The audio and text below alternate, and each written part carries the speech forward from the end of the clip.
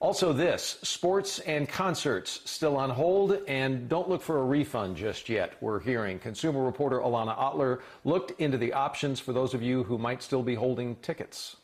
Tonight would have been the Rangers' 30th game of the season, but there are no signs of life at Globe Life Field. No players and no fans like Randy Martin and his daughter. I've been taking her to games uh, since her first birthday, and every year I take her to a game for, for in or around her birthday.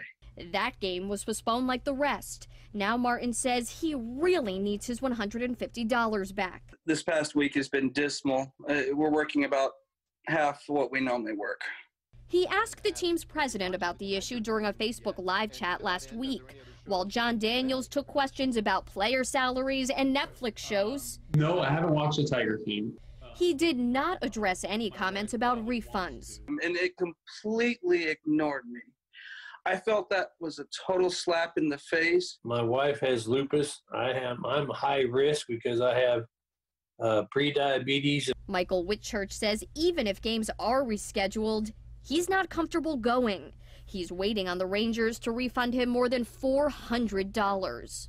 And I understand it's not their fault, but that doesn't give them the right to keep my money. But yesterday, the MLB updated its policy. A Ranger spokesman says starting today, the team will issue single ticket refunds for impacted games on a case by case basis. Customers can head to the team's website for more information. But the team's hope is that customers will hold on to their tickets, as no games have been officially canceled. Those aren't the only tickets Whitchurch is holding. It's an evening with Michael Bublé. He bought two passes for a concert at the new Dickies Arena in Fort Worth. But there's been no music and no money returned.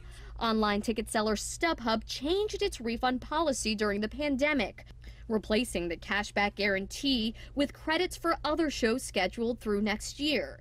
The question is how long the virus poses a threat. I don't know that I'm going to go sit in a crowded arena to hear Michael Bublé or anybody. Alanna Autler, CBS 11 News.